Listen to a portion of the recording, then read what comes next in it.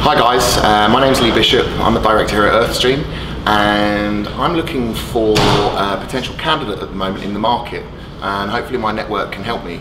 Uh, we've got a role in Indonesia uh, working for a global mining operator um, and they're looking for somebody in community development, corporate social responsibility, some, an expat, uh, somebody who can speak the local Indonesian language, who can engage with different stakeholders, uh, leaders of communities. Um, do get in touch. I can talk to you more about it. Uh, but the big thing with this one is you must speak uh, the Indonesian language.